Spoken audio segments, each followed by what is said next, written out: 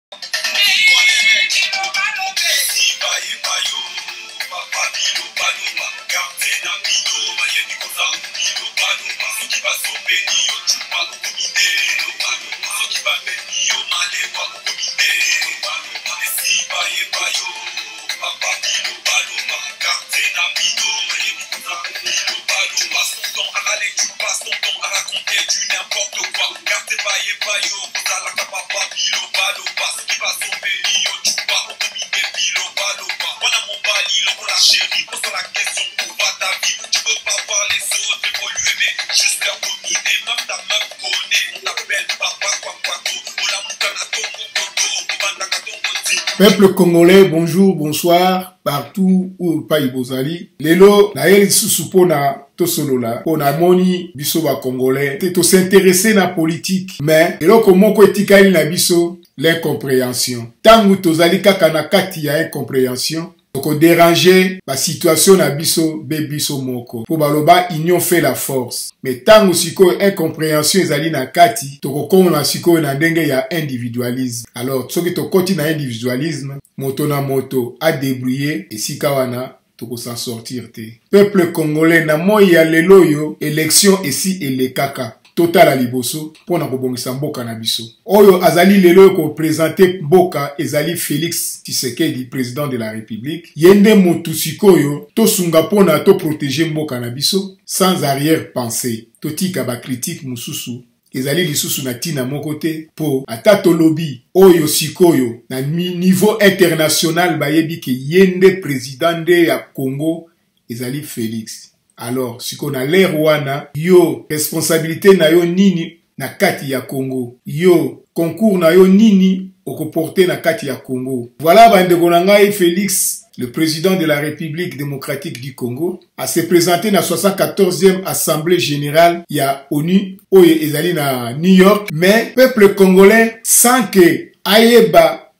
ou a étudié, a analysé qu'est-ce qui se passe dans la 74e Assemblée Générale. Non, directement, ba critique et bandit. Alors, bande konangai, toko s'en sortir dans denge wanate. Ponangai, nalingaki na comprendre Assemblée Générale ya ONU na monaka Kabila sepe akendaka. Elo yo, Félix, président de la République, yende mutake ko représenter Congo. Et dans l'entretemps, comme Azali sous vice-président ya Union africaine, ake ko presenter Afrique en général ça il faut pas bobosana yango donc Felix na 74e assemblée générale a se présenter na deux étiquettes alors qu'est-ce qui se passe là-bas kuna ezali débat général ya haut niveau ntango ezali débat général ya haut niveau donc ezali na thème oyo chaque président akopasse na tribune akokende kodefendre teme wana kodemontre teme wana kocontredire ou koprouve teme wana par rapport ya politiki na ye oyo ye alingi ka mene ou oyo ye aza komene na mboka na ye na ka ya felix ezali politiki nini ye alingi amene na kati ya congo alors teme yango ezalaki nini bandeko na ngai soki obandi kokritike félix sans oyeba ke kuna ezalaki de teme bapesaki teme oyo chaque président akopase il faut aparle na teme wana donc okomprendre rien oyoki kaka félix alobi boyebi te ke makambo oyo alobi bapesi ye teme est ce que discours ya félix na teme oyo ya jour, ya, ya jour wana ekokani ou bien ekokani te ezali neti dissertation bapesi yo dissertation osali dissertation ou tu es hors canva ou ozali mpe orépondre na question ya dissertation alors le thème du jour c'était quoi peuple congolais débat général wana ezalaki na thème nango thème nango nini 1. Le renforcement des efforts multilatéraux visant à lutter contre le changement climatique et la pauvreté. 2. Le développement durable. Peuple congolais, congolais, il faut à la kisake, à comment développer, na esprit, pour ceux qui osali kokanisake, mokili yango bamemaka yango kaka na wusuwusu non oza komikosa peuple congolais effort multilatéraux visant à lutter contre le changement climatique et pauvreté. Multilatéraux, c'est quoi Pour ceux qui comprennent multilatéraux, visant à lutter contre le changement climatique, aux yo mon côté na mukili, ozali et Le multilatéralisme est un système de relations internationales qui privilégie les négociations, les engagements réciproques, les coopérations, les accords entre plus de deux pays dans le but d'instaurer des règles commune. Il s'oppose à l'unilatéralisme, action d'un seul État, et au bilatéralisme, relation entre deux États. Voilà, peuple congolais, donc le 74e Assemblée générale des Nations Unies, Zaliko Salama, pendant le 17 septembre tina le 30 septembre 2019 alors le débat général du haut niveau efungwamaki mardi 24 septembre 2019 teme ya, ya ane oyo ezali bateme nini kuna ezali mpo na kokende koloba kaka te osali discours no na yo na ndako oye mpo opesa discours na yo non discours na yo ifelanda teme oyo bapesi alo na 74e assemblée teme na yango ezalaki nini teme na yango ezalaki le renforcement des efforts multi latéraux visant à lutter contre le changement climatique et la pauvreté. Deuxièmement, le développement durable ainsi que d'autres questions. Bandeko na ngai, soki sikoyo yo moko o comprendre thème oyo te, mais oko critiquer Felix ndenge nini mpo okoyeba te ke makambo alobi ezali korepondre na thème oyo bapesi to makambo alobi ezali imaginaire mpo soki lelo oyebi multilateraux na politike ntina na yango te me ndeko na ngai okokritike mpo na nini alobi bien te eh, azobude eh, alikukuma eh, boye na boye azorepete makambo deux fois trois fois non toza koyokisa mboka na biso soni biso moko toza ko neglige ko ridiculiser mboka na biso ezali mawa mingi na boyo ba comprendre le renforcement des efforts multilatéraux visant à lutter contre le, cha le changement climatique et la pauvreté te pour yo moko pauvreté te yomoko échauffement climatique yomoko okiko coréguler coréguler ko il faut lisanga le multilatéralisme est un système de relations internationales qui privilégie les négociations, les engagements réciproques, les coopérations, les accords entre plus de deux pays dans le but d'instaurer des règles communes. Donc,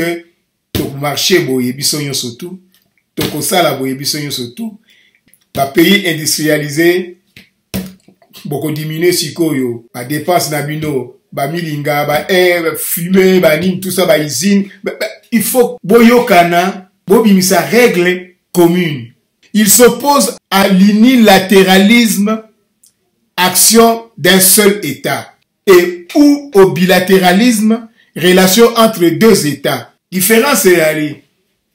na kati multilatéral donc eyali ba mboka ebele ezali différence na que uni latéralisme donc ezali yo moko odeside to bilatéralisme de, de mboka boyokani congo kinshasa congo braza non wana ezali monde entier ça concerne tout le monde entier baarrive koinstaure règle commune alors sikoyo yo président de la république il faut odefendre sikoyo mboka na yo na kati ya règle commune wana eloko nini olingi eloko nini ozomona ya mabe mpo ntango bokoya koarrete bamesure baprendre a consideration makambo oyo yo olobaki ezali je te ezali exercice moko ya moke te bandeko na ngai bomonaka moto atelemi liboso ya onu aza koloba bozomona lokola makambo moko toka ya pamba ni te te bien que présent dans divers traités internationaux antérieurs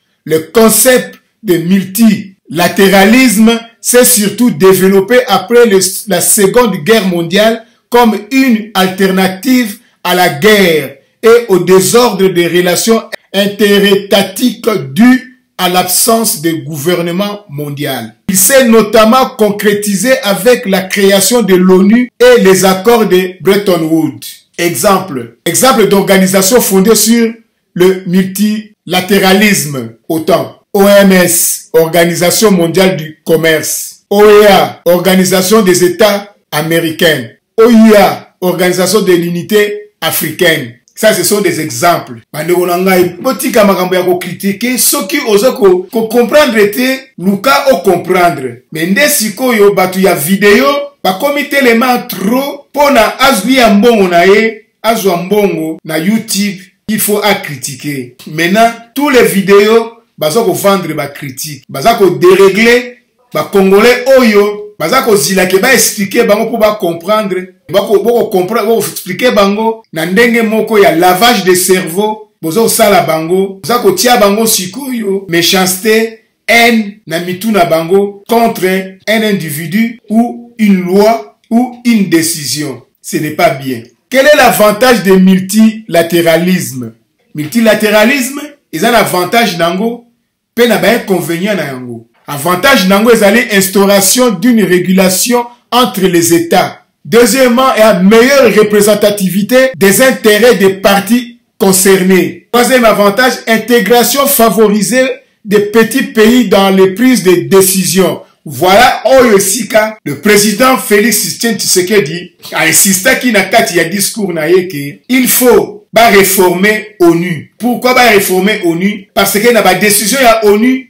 ba pays oyo ya afrique ezalaka te po aucun pays d'afrique azali na veto ntango ozali na veto te donc okoki koepose te veto ezali na états-unis france russe et d'autres baangleterre baallemagne donc bapays kaka oyo ya bango alors que bapays wana na moi ya lelo oyo ntango baza koloba te changement climatique et la pauvreté développement durable ça c'est l'afrique e epai sikoyo richesse oyo changer monde ezali na afrique mais comment bokozwa décision sans que afrique azala na kati voilà bandeko na ngai soki opousse loin te ocomprendre te okomonaka ke discours ya félix nyonso to alobaki ezalaki inutile inconvénient de multilatéralisme c'est quoi longueur de débat tomoni yango changement ya climat climatique oyo areunion esalami ya ndenge na ndenge trump abwaka mosusu arejeta mosusu anégligea mosusu dernièrement basali yango na france awa chine aza kodoute yango ke mpo bango nde baa ba plus pollueur de pays pollueur de baza koinsiste baza konegligeaka yango discussion ezokontinue kaka voilà inconvénient yango longue débat complexité des processus de décision lelo bakoloba boye états-unis akoboya nde yango mpo azotala sikoyo élection na ye donc ngai bavotaki nga mpo na boye soki nalobi boye donc peuple kuna donc tu vois inconvénient na yango ou des mises en œuvre en particulier surtout au sein d'organisations permanentes risque d'échec des négociations du fait du grand nombre d'acteurs tomoni yango lelo oyo états-unis na iran mobulu ezali koma iran akoya kokota mpo andima yango ntango états-unis sikoyo azo konéglige ye ntango azofinga ye azoloba ne boye bo koma états-unis akoloba ke ntango iran azala na kati vala ba inconvénient na yango vala peuple congolais la pauvreté alors c'est quoi la pauvreté il faut odefendre pauvreté mais mpona ocomprendre ke félix alobaki makambo ya solo ou bien adebroutaki ou quoi que ce soit il faut yo moko o comprendre pauvrete c'est quoi toyebi biso nyonso pauvrete ezali ke oza no na mbongo te biso toyebi yango ndenge wana est ce que c'est vraiment ça la pauvrete voilà peuple congolais sikoyo tokomi na point ya pauvrete c'est quoi la pauvrete la pauvrete est un terme désignant la situation d'une personne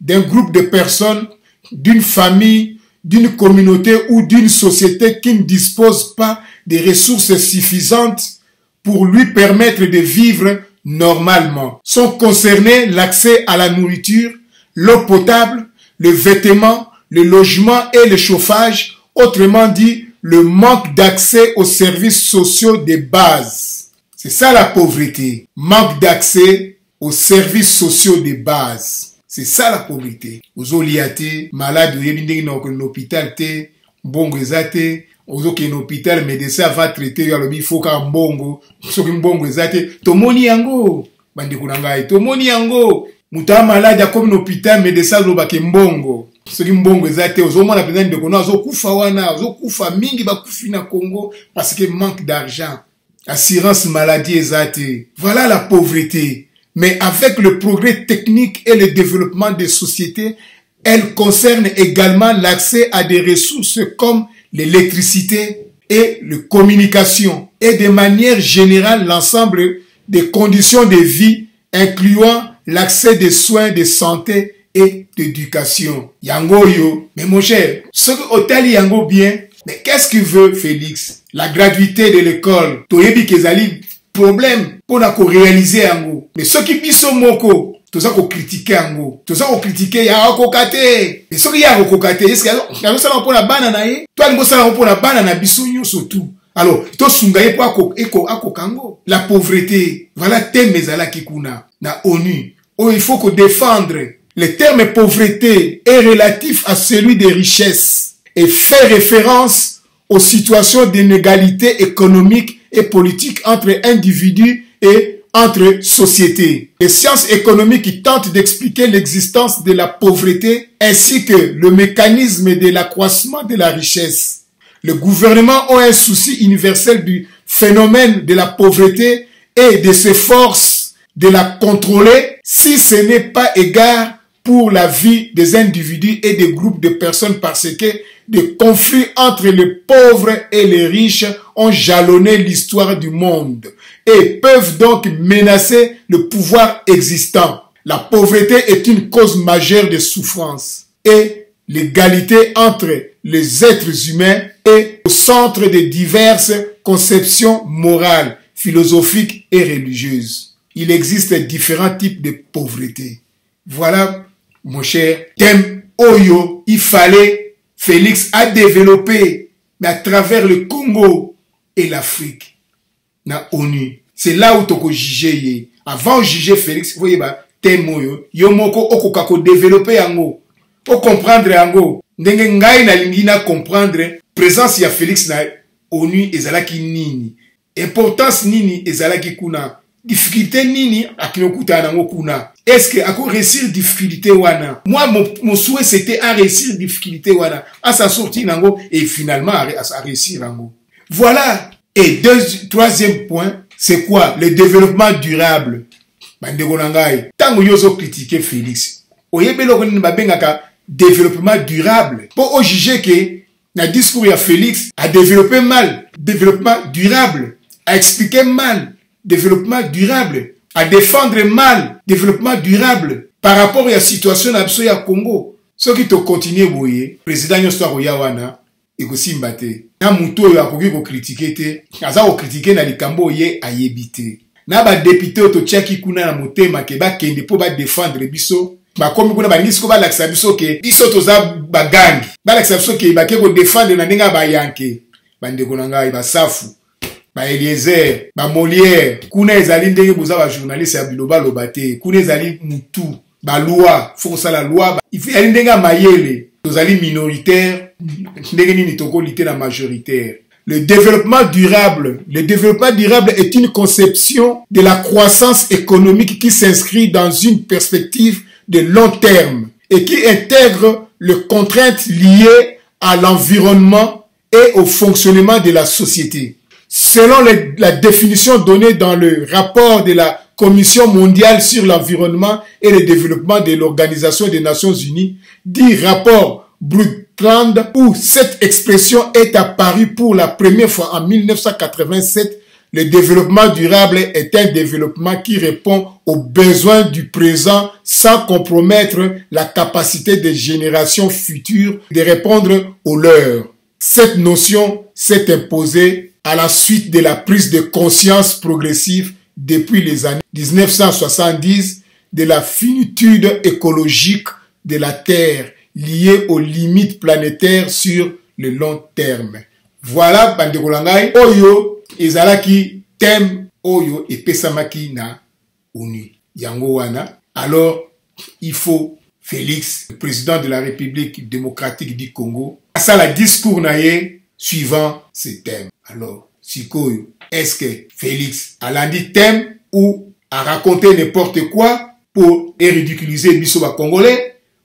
ou à lundi objectif, à retire objectif, à toucher objectif, pona à pesa biso honneur et na moi ya leloyo Congo et zongana place nango kati ya monde voilà lingaki liboso na faire comprendre bino présence ya Félix na ONU et 74e assemblée générale des Nations Unies thème nango ezalaki nini voilà thème yango ezali renforcement des efforts multi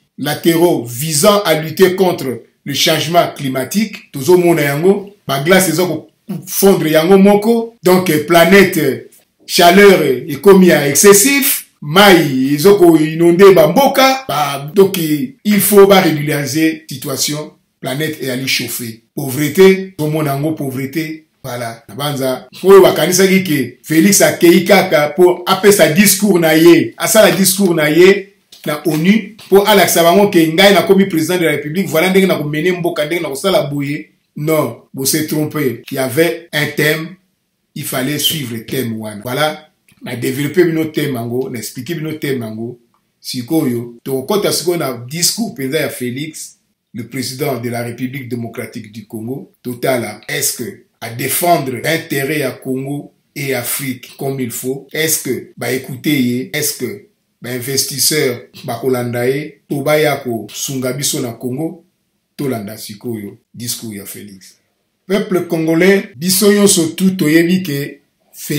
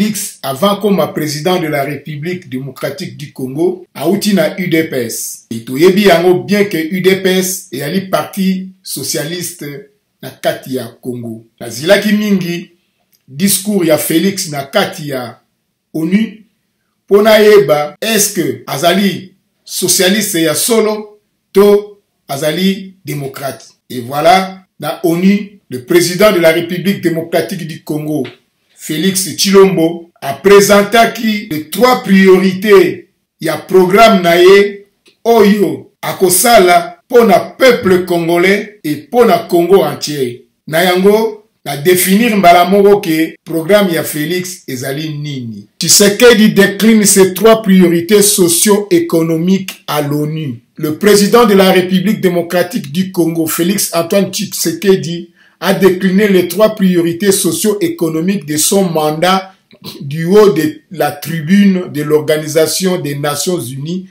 le jeudi 26 septembre 2019 à New York. Trois priorités socio-économiques. bandeko na ngai bato ebele nayoki balingi bakokritike balingi bakokritike discours ya félix baza kokritike eh, lecture ya felix mais ntango yo kritike ye oyoki yango mpo motu boye akritike ou yo mpe vraiment olmoni yango ke discours na ye ezali inutile na yango nakotuna yo question boye eske oyebi eloko nini wana babengi socio-économique mpo na okritike il faut oyeba socio-économique bandeko na ngai nakokɔta nano na trois priorité socio-économique na ye te rien que soki oyebi socio-économique kocomprendre félix alingi amema biso wapi objectif na ye mpo na congo mpe mpo na peuple congolais ezali nini yango ntina ngai nalandaki discours ya félix na onu mpo na comprendre ye eloko nini alingi alingi amema biso wapi e soki nakosunga ye nakosunga ye mpo na nini voilà bandeko na ngai ntina nalandaki president tshisekedi na discours ne na onu mpo na comprendre La socio-économique ou socio-économie, c'est quoi bandeko na ngai omoni mpo na todevelope congo il faut motu nyonso tu akɔta na barecherche alinga acomprendre avant aagir ou aloba yango eloko ezali na ngai nazali na parti politiki moko te me nalingi mboka na ngai congo nadesidaka na vi na ngai ke enemi na ngai kabila ifo alongwa oyo nyonso akoremplace ye soki azali mwana ya congo na kosunga ye ntango kabila alongwe felix aye wana na bakondition oyo ezali na kati ya congo yango nde ezorenforce sikoyo nasunga ye socio-economie ou socio Economie est un melange entre les sciences économiques et la sociologie. Ndeko na nga soko toana science économique na sociologie. Science économique c'est quoi? Sociologie c'est quoi? Donc il faut kolinga oyeba yango pour comprendre que eloko nini epai nini ye alingi amema biso les sciences économiques ou la science économique ou encore l'économie est une discipline des sciences humaines et sociales qui étudient de façon scientifique le fonctionnement de l'économie, c'est-à-dire la description et l'analyse de la production, des échanges et de la consommation des biens et des services. Traditionnellement, au sein de la discipline, on distingue deux branches qui se distinguent par leur objet d'étude et leur méthode. La macro économique et la microéconomique. La macroéconomique étudie les grands agrégats économiques, l'épargne, l'investissement, la consommation, la croissance économique, alors que la microéconomie étudie le comportement des agents économiques individus, ménages, entreprises et leurs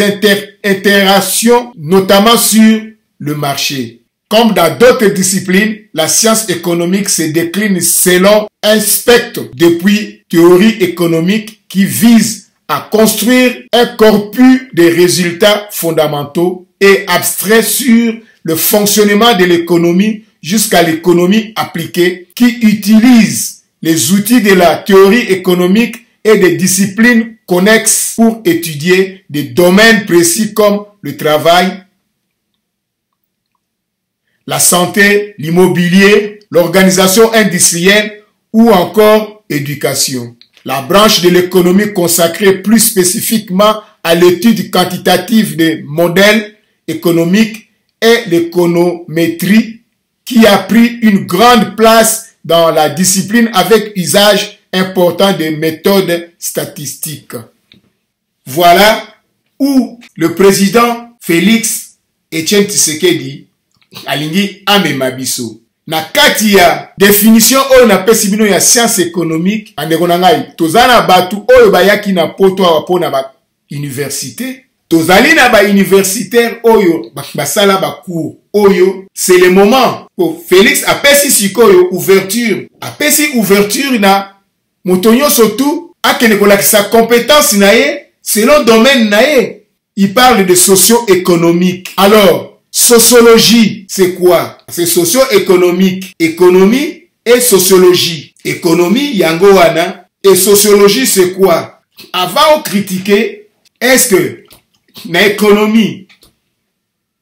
Felix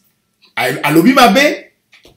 na ONU et la sociologie c'est quoi La sociologie est l'étude des êtres humains dans leur milieu social. Elle est la science de l'observation de la société et des phénomènes sociaux. Tileloyo. awa na poto okomona village soki oke na village ya mindele okondima yango teke ya village okokuta bandako moderne baetage ba route asphalte mais soki oke na ba village na biso okono kuta ba, ba maison ya potopoto apai mbula ebeti moto atelemi moyen alala lisusu eza te dernièrement tomoni inondation na, na mboka moko boye soki kivu soki nini batoi ezokosenvole c'est ça la sociologie étude des êtres humains elle est une branche et une discipline des sciences sociales qui a pour objectif de rechercher des explications et des compréhensions typiquement sociales et non pas mentales Biophysique à des phénomènes observables afin d'en montrer la nature sociologique. La sociologie étudie les interactions sociales qui produisent, par exemple, selon les approches, des acteurs sociaux, des actions sociales, des faits sociaux, des identités sociales, des institutions sociales, des organisations, des réseaux, des cultures, des classes sociales des normes sociales ainsi que de toutes ces entités qui n'ont pas explication purement physique ou mentale et qui sont produites par l'interaction sociale. Une explication sociologique est vue comme le produit d'une démarche scientifique et ou intellectuelle afin de rendre compte, expliquer ou comprendre un phénomène que le sens commun permet aussi d'appréhender. Voilà, peuple congolais, Soki qui pour discuter, il faut comprendre les trois priorités socio-économiques. À faire comprendre les binômes socio-économiques, c'est quoi Les socio-économiques, c'est un mélange entre l'économie, la science économique et sociale. La science économique est une discipline des sciences humaines et sociales.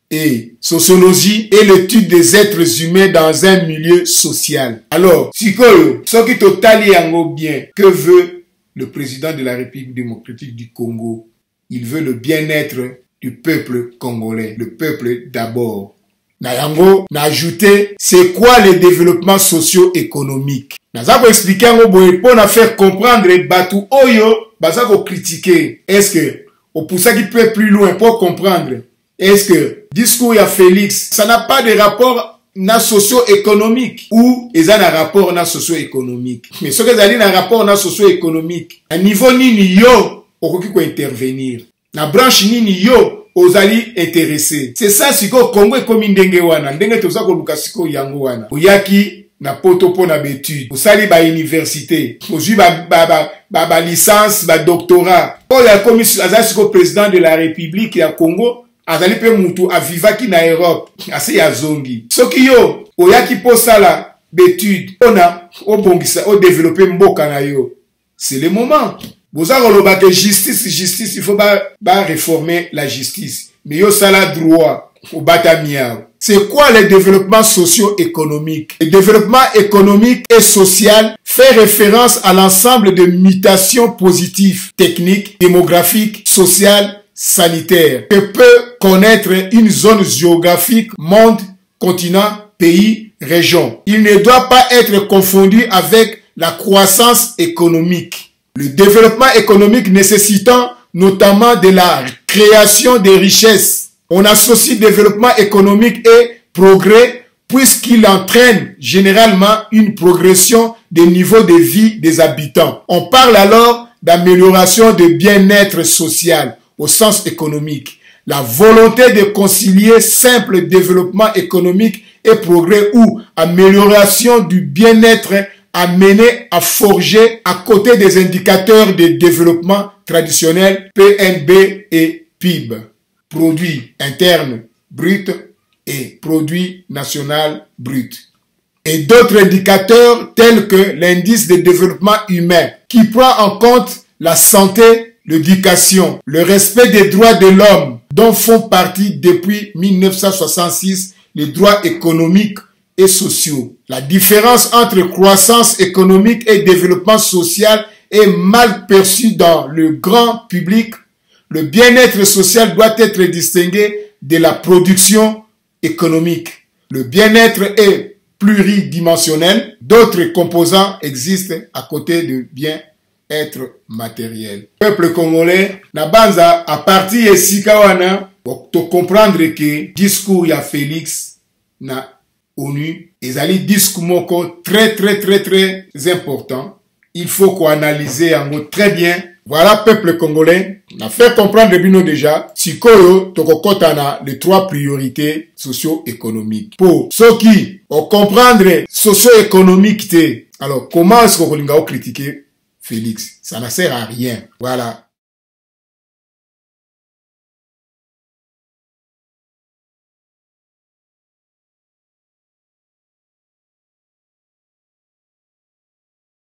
bandeko na ngai video na ngai nasalaka yali mpo na koprotege bato oyo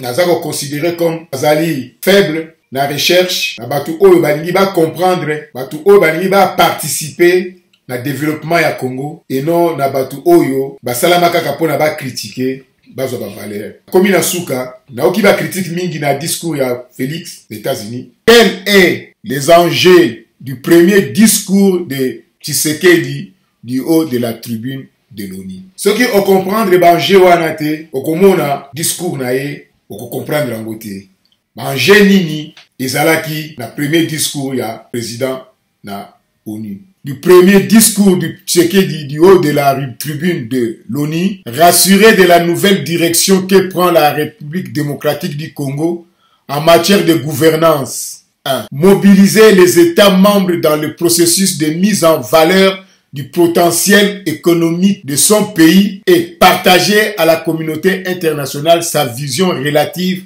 à la diplomatie au service du développement. Voilà, c'était ça, les enjeux. Il y a premier discours, il y a président de l'ONU. C'est ça qu'on répétait les binoyango. Les enjeux, et c'était rassurer de la nouvelle direction que prend la RDC Congo en matière de gouvernance, mobiliser les États membres dans le processus de mise en valeur du potentiel économique de son pays et partager à la communauté internationale sa vision relative à la diplomatie au service du développement. D'où diplomatie, les trois piliers de la nouvelle vision Tshisekedi. D'abord, une politique étrangère désormais axée sur le partenariat stratégique au profit du peuple congolais. Ensuite, l'entretien des relations étroites de coopération avec la communauté internationale se fera dans le strict respect de la souveraineté congolaise. Enfin, la redynamisation de la présence de la RDC dans les organismes multilatéraux latéraux, bref, une diplomatie agissant au service du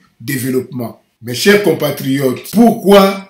Tolingiko comprendre été Pourquoi Tolingiko combattre Mutu Oyo ko combattre les parce que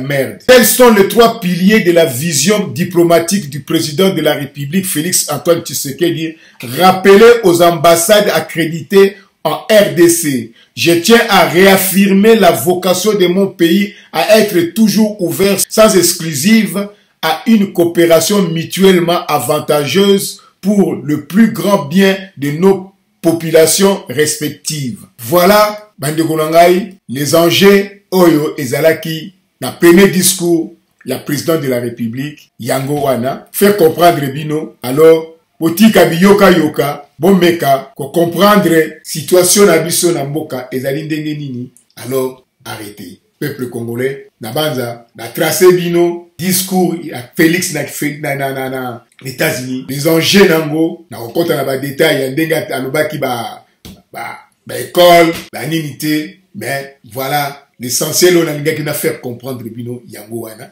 donc moto na moto atire baconclusion na ye mpona Pour comprendre. Le président de la République n'a pas manqué d'évoquer quelques principes de base de la diplomatie que le gouvernement mettra en œuvre, lesquels principes sont fondamentaux pour son pays, son peuple ainsi que l'ONU et de l'UA, l'Union africaine. Au nombre des principes, il y a lieu de citer le bon voisinage, la vocation africaine, l'ouverture au monde sans exclusive, la coopération internationale et régionale mutuellement avantageuse, les règlements pacifiques des, différents, le non-recours à la force et la condamnation des changements anticonstitutionnels, le respect de l'intégrité territoriale des États, l'indépendance politique et la souveraineté nationale, l'intangibilité des frontières héritées